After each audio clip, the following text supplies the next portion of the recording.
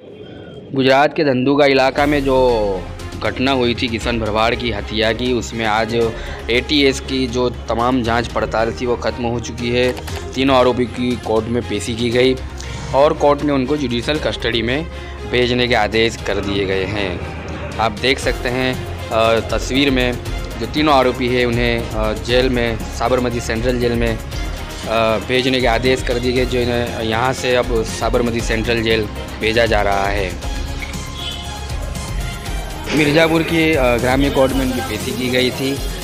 तीनों जो आरोपी है, अशरफ गनी के साथ, दो जो दूसरे शूटर थे, उन्हें भी आज साबरमती सेंट्रल जेल में भेजने के आदेश दिए गए हैं। मिर्ज़ापुर कोर्ट में पुलिस का पूरा बंदोबस्त तैनात कर दिया गया था।